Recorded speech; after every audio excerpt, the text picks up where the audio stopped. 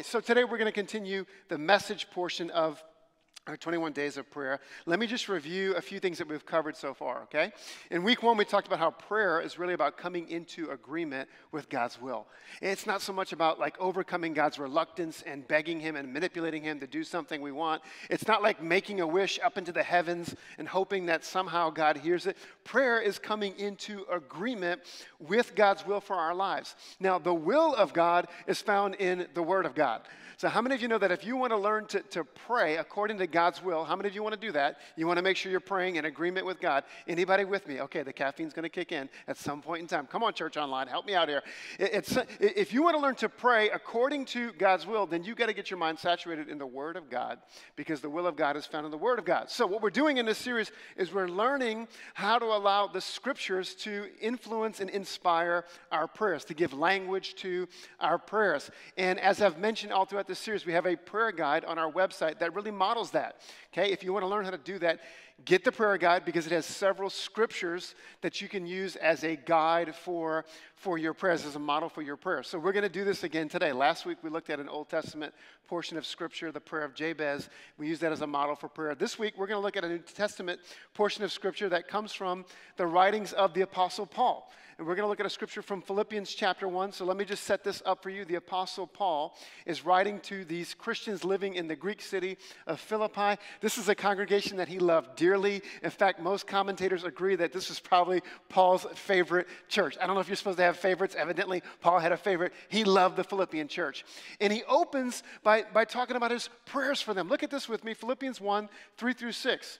He writes this Every time I think of you, I give thanks to my God. Whenever I pray, I make requests for, for all of you with joy, for you have been my partners in spreading the good news about Christ from the time you first heard about it until now. Verse 6 And I am certain that God, who began the good work within you, will continue his work until it is finished on the day when Christ Jesus returns. So Paul's praying for them.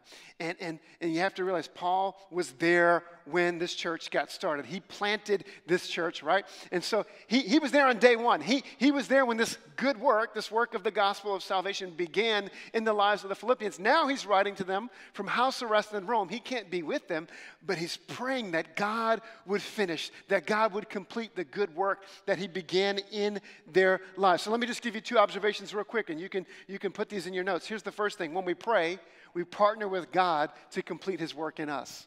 Come on, I want you to get that in your mind and in your heart. When we pray, we're partnering with God to complete his work in us. As I said before, prayer is about coming into agreement with God. It's about aligning our will with God's will. It's not about just begging and petitioning. It's not overcoming his reluctance. It's tapping into his willingness. And so when we pray, we partner with God. We're actively inviting God, like, God, I'm going to come alongside of you. I recognize it's your work. I can't save myself. I can't fix myself. But Holy Spirit, I want to cooperate with you.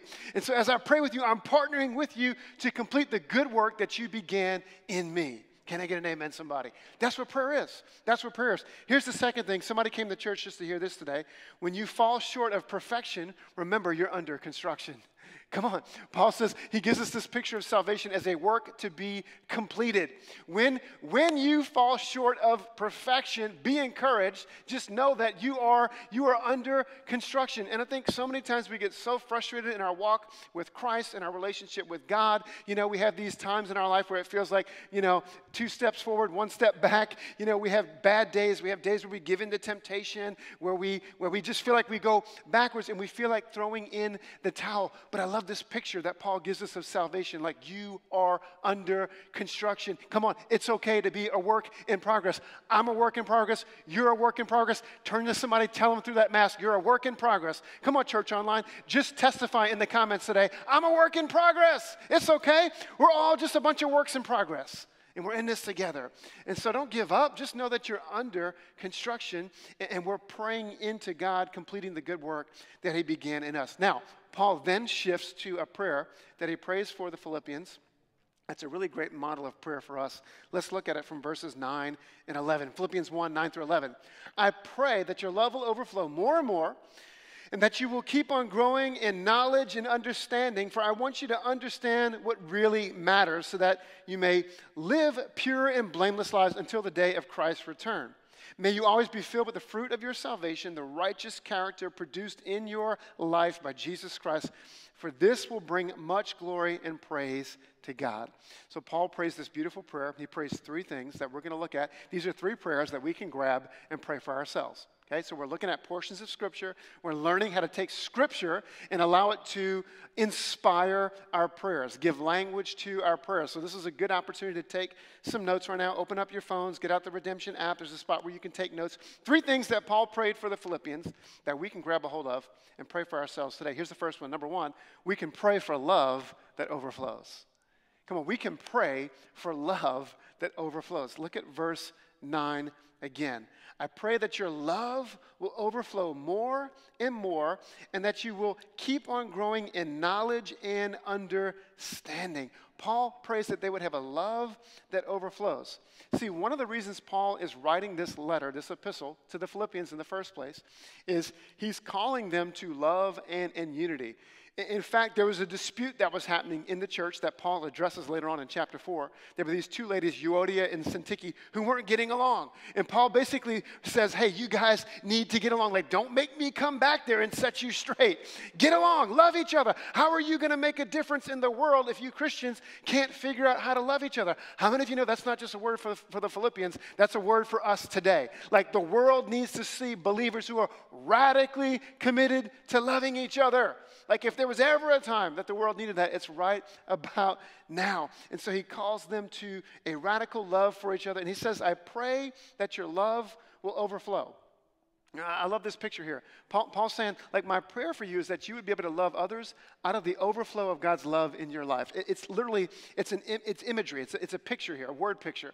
Like, picture like the love of God being poured so richly into your heart that it overflows and you're able to love people out of that. How many of you know there's always a connection between uh, your ability to love people and, and your revelation of God's love for yourself? Anybody discovered this? Like, you can only give to others what you got for yourself. You can, all, like, your, your revelation of God's love for you is the, is the basis for your ability to love other people. Jesus gave us the great commandment love God with all of your heart, soul, mind, and strength. Love your neighbor as yourself. You really can't do the second one if you haven't experienced the first one. This is what Paul's talking about. And then he keeps going. He says, I pray that your love would overflow and then that you will keep on growing in knowledge and understanding, that your love is rooted in knowledge and understanding. What does this mean? Well, he, he's praying for them to, to continue growing in knowledge and understanding that reflects the love of God and in turn leads to more of the love of God. Let me put it to you this way, okay? When you became a Christian, when you placed your faith in Christ, you enrolled in the school of God's love. You may not have known it, you may not have realized it, but, but you signed up for the school of God's love. We're all in school together. The curriculum is Scripture. The instructor is the Holy Spirit, and the goal of your education is to learn like God has loved. How do you know if you're passing the test? If you're loving other people well. You want to gauge to measure your spiritual growth? You want to know how far you've progressed in this? Paul doesn't say it's all of your fancy knowledge, how well you can quote the Bible backwards and forwards. No, it's knowledge based in how well you can love. Like, how well do you love others? So let me ask you this question Do you know how to love well? How, are you doing in, in the love in the love department? Do you know how to love well? We've all heard the cliche a thousand times. People don't care how much you know until they know how much you care. And it's one of those kind of cliche statements, but if you stop and think about it, isn't it true? People don't care how much you know till they know how much you care. The people who made the biggest difference in your life, the teachers, the coaches, the mentors, the loved ones, they were people who cared for you. It's not because they were so smart and they knew everything. How many of you have ever known someone who was a know it all but didn't exude love and they really didn't make that big a difference in your life? Anybody? Am I the only one? Anybody? Anybody know anybody like that on social media? They know everything but they never come across as loving. Come on, let's keep it real. I, have got a Christian friend, and they don't go to our church, by the way, so truthfully, I'm not picking on anybody here. Our church, for the most part, behaves themselves on social media. We police you if you don't. But I have a friend who, um, he, he's always on social media, and he's a know it all. Like, he knows everything. He has the right answer for everything. And he's always posting, like, you know, he's an angry Christian. Like, he's always angry. He comes across as judgmental. He's always got the right answer. He's ready to argue with everybody. But he, because he doesn't exude love, he never, he never changes anybody's mind.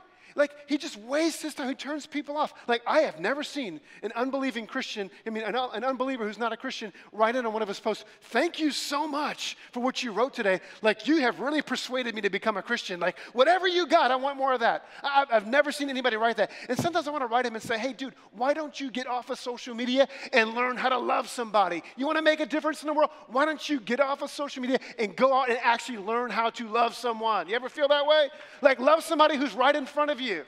How, how, many of you know the world needs Christians who know how to love people? Love the person right in front of you black, white, gay, straight, conservative, liberal, people you agree with, people you disagree with. Learn how to love well. That's how you make a difference in this world. That's how you make a difference in this world. Well, what about all the difficult people, Pastor? What about the people who are difficult to love? Anybody got a difficult person in your life who's hard to love? Don't nudge the person sitting next to you. That's not nice. Come on spouses, significant others don't look at each other. That's not nice. We all get those difficult people, right? Like, wouldn't it be easy to love everybody the way Jesus called us to love people if it wasn't for those difficult people in our lives? And this is why we love out of the overflow, the overflow of how God has loved us. I was recently listening to the audio version of of the famous book, The Hiding Place by Corrie ten Boom. And uh, Corrie ten Boom, if you don't know her story, it's a famous Christian story. She was a, a Dutch woman who lived in Holland during World War II, during the time of the Nazi occupation. And, and they, she had a devout Christian family who hid Jews from, from the Nazis. And, and uh, her story really became tragic. They ended up being arrested and they spent time in this German like prison camp called Ravensbrück in, in Germany. She lost her father, she lost her beloved sister. And then when she got out of jail, she traveled all over uh, all over Europe, uh, preaching the gospel and sharing her testimony of how God brought her through all of that and, and all that she learned in those experiences, and has this just beautiful, amazing testimony. And in one story she told, she was in Munich, Germany, and sharing the gospel, sharing her testimony. And after the service, one of her prison guards that she actually recognized from Ravensbrück came up to her and held his hand out to shake her hand. And she said, Everything inside of me didn't want to forgive this man. Nothing inside of me wanted to shake this man's hand. Like all of that, that bitterness and unforgiveness was there because of the, the hurt of what the German people ha- had done to her. And she prayed twice for God to help her to forgive him. And she extended her hand to this man. And when she did, she said, I felt like a current flowed through my arm into this man. And I felt an overwhelming love in my heart from him, from God. And she said, I learned that day that Jesus not only commands us to forgive our enemies, but he gives us the love to do it. See, that's a picture of overflowing love. That, that's a picture of love that's supernatural. There was nothing in Corrie ten Boom that in the natural that would allow her to forgive this prison guard who had, you know, overlooked terrible things that were done to her. But she was able to love him and forgive him out of the overflow of God's love in her life. And so we can begin to pray just like the Apostle Paul God, give me a love that overflows. Come on, God, give me a love that isn't even from me, it's from you. God, if it comes from you, I can even love the unlovable people people in my life. I can love that annoying coworker. I can love that person on social media who drives me crazy. God, I can love my family. I can love the people I disagree with. God, it's not my love, it's a love that comes from you. When I recognize how much you've loved me, how much you gave yourself for me, how much you love me despite me doing nothing, despite me being a sinner and not deserving your love, God, I can love out of that overflow. I can love other people. Come on, that's our prayer. That's our prayer. We're going to take scripture, we're going to get inspired, and we're going to pray it back to God. Here's the second thing. Number two, three prayers that Paul prayed that we can grab a hold of and we can begin to declare in prayer for ourselves. Here's the second thing he prayed for. He prayed, he's, uh, and it's a prayer we can pray. We can pray that you can discern what is best. You can learn to pray that you can discern what is best. God, help me to discern what is best. Look at verse 10. For I want you to understand what really matters so that you may live pure and blameless lives until the day of Christ's return. Here's, here's how the new, new uh, the NIV translation puts it that you may be able to discern what is best. The New American Standard Bible says, so that you may approve the things that are excellent. What is Paul saying? Follow him in the process here as you begin to love people out of the overflow of God's love, as you grow and increase in knowledge and understanding that reflects that love. It results in you developing godly discernment, you being able to discern what is best, to discern what really matters in life. Now, I love this word discernment because it has this connotation of sifting and sorting through different choices and, and options. Like the idea here is that God wants us to develop the ability to distinguish what's best in a world of competing possibilities, competing options, choices, options, like being able to sort through what is best for our lives, what really matters for, for our lives. And this is really biblical wisdom. This is the picture that we get of wisdom in the Bible. This is the wisdom of Proverbs. It's not that in every situation I'm going to be able to remember every Bible verse to help me know exactly what to do. That's wonderful. You want to get God's word in your, in your heart so it's there when you need it. But here, here's the, the more accurate picture it's that the word of God trains my thinking, it trains my wisdom, it trains my discernment so that I can begin to think how God wants me to think in any given situation and do what honors Him. Like, this is biblical wisdom. This is what we might call moral perception. Paul gives us a word picture for this in Ephesians chapter 1, 18. He says, I pray that the eyes of your heart might be enlightened. Did you know that, your, that figuratively, that your heart has vision to it, that, that your heart has eyes? It sees, like, what are you seeing morally from, from your heart? That's the picture we see here. How many of you know that there are a lot of competing options every day? A lot of competing choices. How many of you know that there are so many things in this life that are competing for our attention, for your heart, for your finances, for your time. Like on a, on a regular basis, any given day, we're trying to sort through what's right, what's wrong, and sometimes there's some gray areas and it's not so easy to know what to do. And, and I think on a regular basis, we find ourselves trying to do the best thing to honor God, trying to do, like, make the be- best decisions for ourselves, for our families. Let me give you an example of sorting through the options, okay?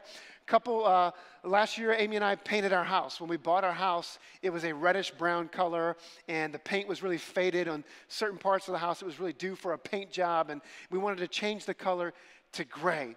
And so we got a bunch of samples of paint and we started painting samples on the back of the house. Now, men, how many of you know that women see shades of color that we didn't even know existed?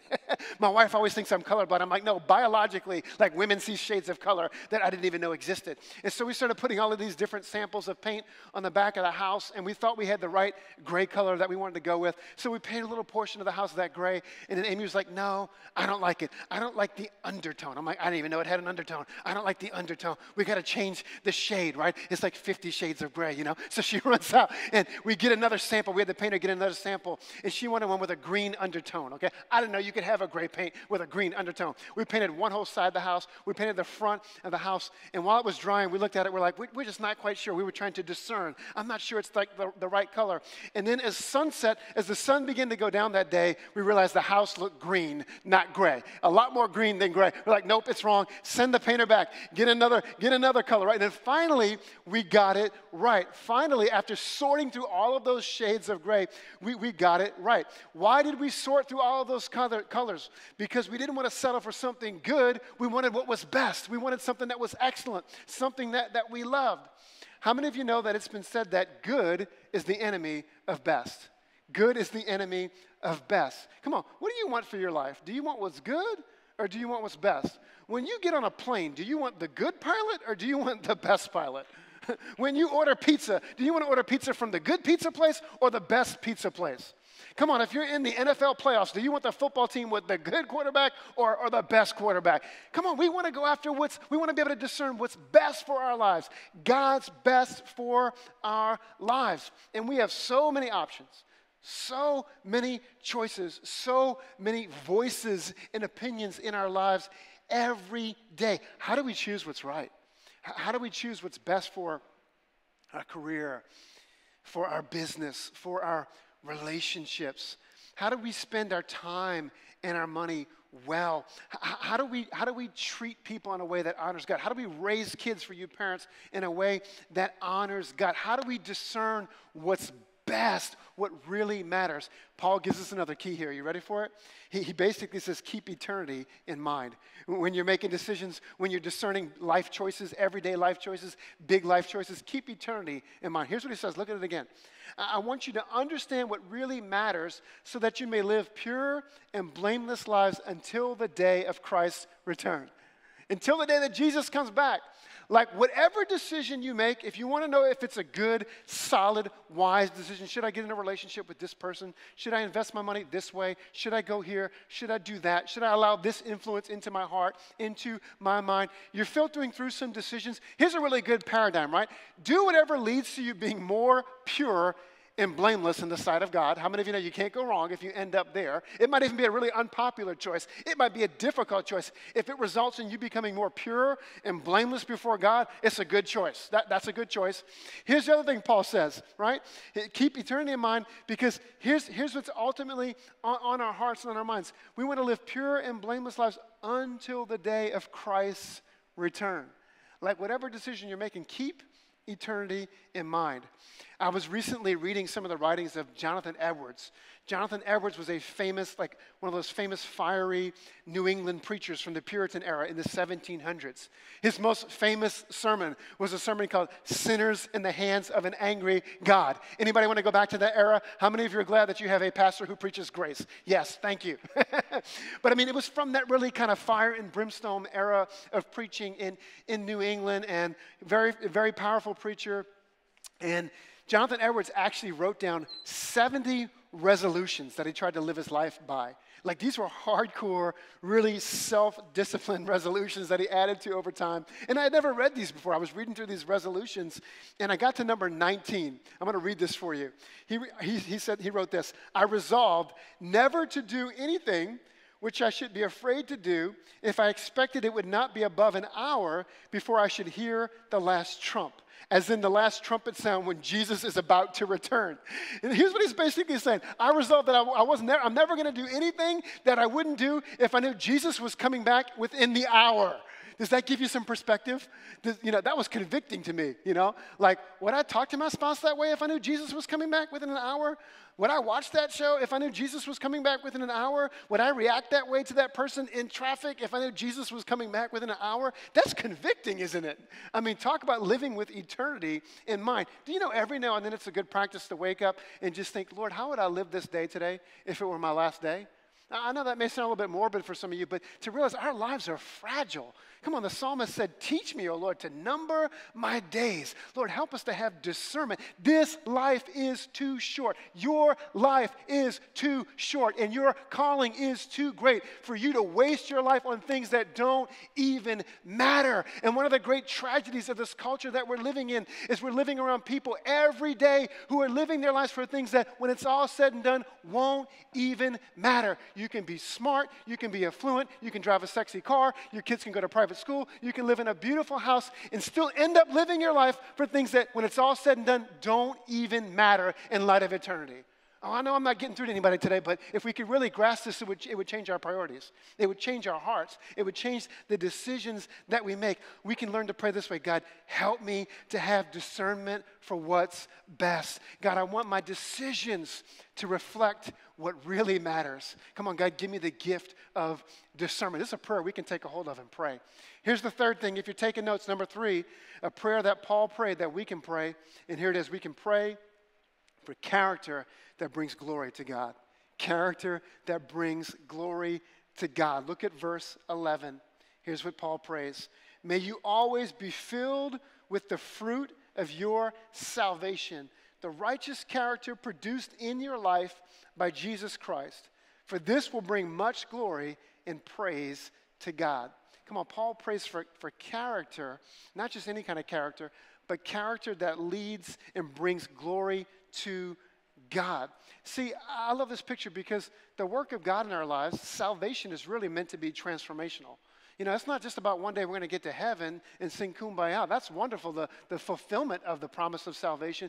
But salvation is supposed to look like something in the here and now, in, the present. It looks like transformation in your life. Like Paul understood there was a past, present, and future aspect to God's work of salvation. Remember how he started, right? Like you're under construction. God is bringing his work of salvation in your life to completion. And so it should be God working in your life should be producing fruit. This is what he says. He gives a word picture. There should be the fruit of your salvation. How many of you that fruit is the result of a, of a process. You don't have to be a farmer to know that. There's a process, right? You take minerals and soil and sun, you know, sunshine and water, you put it all together, and if a plant is healthy, it produces fruit. It's the result of a process.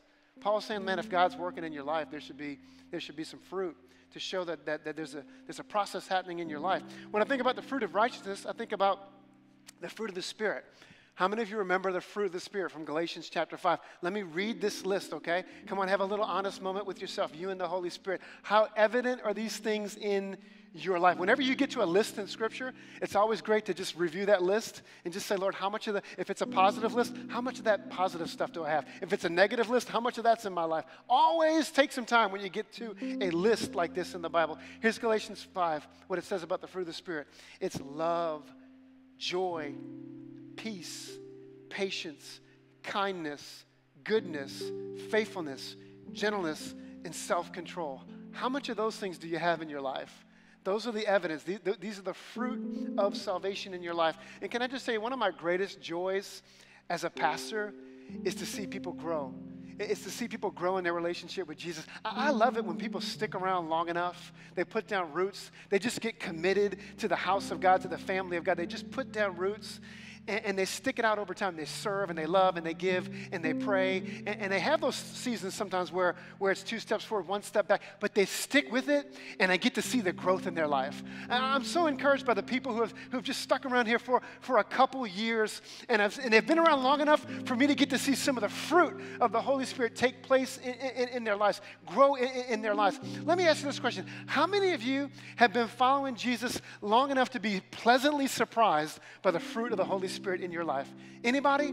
Anybody follow Jesus long enough? I mean, pleasantly surprised. Like over time, you were just following, you were just praying, you were just pursuing, you were just staying in relationship with other believers, not giving up on this whole thing.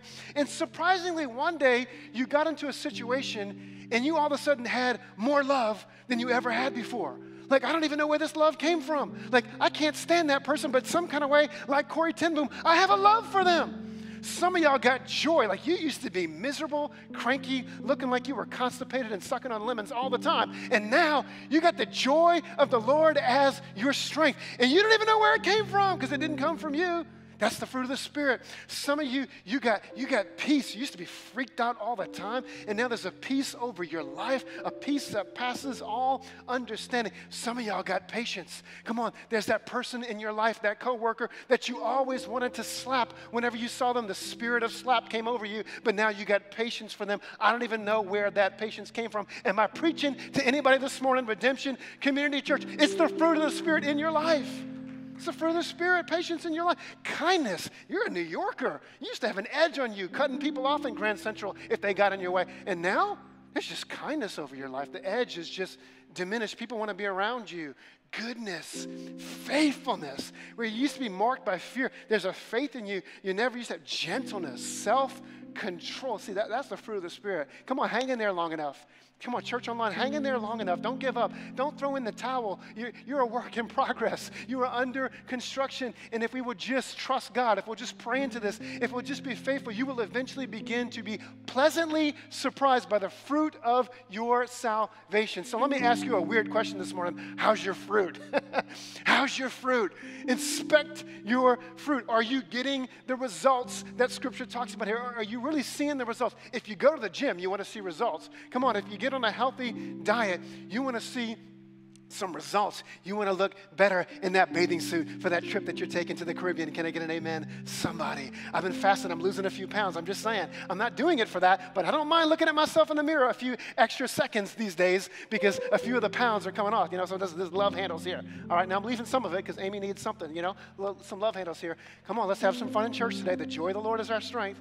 The joy of the Lord is our strength. But let me ask you this question How is, how, how's your fruit? Are, are you getting the results that you really desire? Character that reflects and brings glory to God. Here's our prayer God, fill me with the fruit of your salvation, God. Come on, God, I don't want to just go through the motions, but God, I want to see results in my life. God, I recognize there's nothing I can do on my own, but God, I'm, trusting you to do a good work in me. And so here's what we're going to do. We're going to end this. I'm going to ask you to stand with me. Stand with me.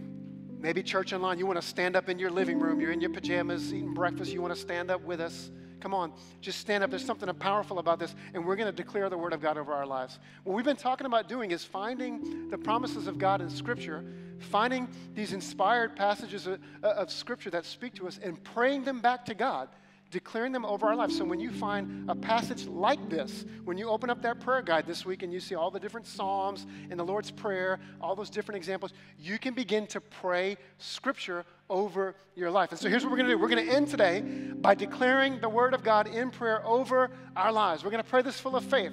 We're going to pray this believing. We're going to pray this trusting that, that the Holy Spirit is going to do a work in our lives. So would you declare, would you boldly declare these scriptures over your life today? And maybe you don't even feel like saying it. Maybe you struggle to mean it when you pray it, but today we're going to pray it full of faith, trusting that it's God who's able to do the work in our lives. So let's put that first one up on the screen. Would you pray this with me? We're going to make some declarations. Here's the first one. Declare it with me.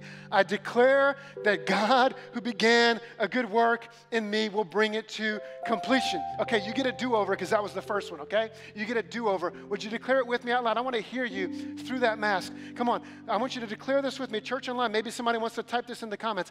I declare that God who began a good work in me will bring it to completion. That's better. Here's the next one. We're warming up. Say this with me. Full of faith, with boldness, trusting, believing. I declare that my love will overflow more and more with knowledge and understanding. Come on, you're doing good. Here's the third one. Let's say it together. I declare that I'll be able to discern what is best in every area of my life. And here's the fourth one. Let's say it like we really believe it. I declare that I will be filled with the fruit of righteousness to your glory and praise Oh Lord. Amen. Amen. Come on, church. I'm rooting for you today. I'm cheering for you today. I came to church to encourage somebody. If you felt like giving up, if you felt like a failure, if you felt like this whole Christianity thing isn't working out so great for you, or you really haven't lived up to your expectations for yourself, be encouraged today because you are under construction. You may be short of perfection, but you're under construction. God hasn't forgotten you, God sees you, He's at work in your life. And if you just hang in there long enough, you're going to begin to see the results. Hang in there long enough. You're going to see that love and that joy and that peace and that patience come into your life. Does anybody believe that this morning? Anybody believe that? Church online, do you believe that this morning? Come on, let's pray into that together. Let's declare that over our lives today. Father, we thank you that you who began a good work in us, that God, you're faithful God, you're faithful when we're not faithful. God, you're faithful even when we sin, even when we fail, even when we have bad days. God, you don't have bad days. You're constant, you're steady, and you're faithful to complete the good work that you began in our lives. And we hold on to that hope today, God. God, we pray that you would give us an overflowing love. If there was ever a time in our lives when, when believers needed an overflowing love, God, give us an overflowing love. God, we're asking you for the gift of discernment, that we wouldn't just go through this life going through the motions, but God, we would be able to discern what is best, what is good, what really matters. And God, we pray for the fruits of the Spirit, the fruit of our salvation to be evident in our lives, your good work, the results and the evidence of your good work in our lives. We trust you to do it. We believe you to do it, and we thank you for it in advance. In Jesus' name, if you believe it, would you say amen? Amen.